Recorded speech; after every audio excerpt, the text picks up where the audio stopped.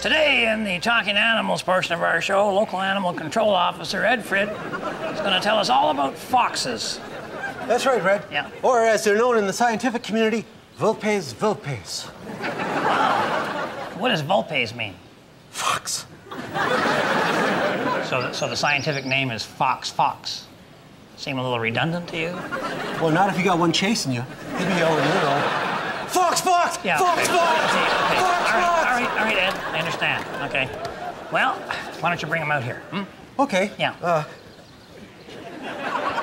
actually, Red, you know, uh, it's a she. Oh. And uh, you're supposed to refer to the females as vixens. I'm not doing that. Thanks anyway. Ed. Uh, just get the fox for us, man. Right. Yeah. mhm. Uh, you know what? Something else I just remembered is that foxes aren't really all that sly. No, that's just a myth. I find that, uh, you know, their intentions are, are very clear. Fox, Ed. You got it. Yeah, right. You got it.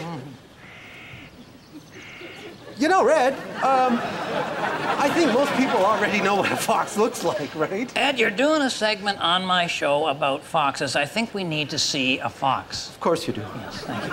All right, for those of you here in the studio audience, I would caution you to not make any sudden moves or cross your legs in such a way that the animal could mistake you for a chicken. Easy, Oh, easy, Oh. Oh, easy. Oh, boy. Okay, Oh, easy. Oh. Don't anybody panic. No, all right, Easy. all right, we're good, okay. we're good. All right, there you go. Okay. That's a dog, Ed. it's a member of the canine family, yes. This is a fox terrier. Well, let's not argue about semantics, Red. You told me you were bringing a fox and you bring a fox terrier? Well, this should be good enough. I mean, it's got the word fox in it, you know. Uh, just use your imagination. I'm paying you a hundred bucks and you bring in a fox terrier? No, uh, you're paying me 200 bucks. No, I- I'm paying you a hundred bucks. Just use your imagination. Now, you know how some people can't leave well enough alone? Well, if that's the case here, they found some new way of watching the Red Green Show. The expression flogging the dead horse also comes to mind. Anyway, there's some link somewhere. They're going to put it on the screen, probably right over my face if I know these guys.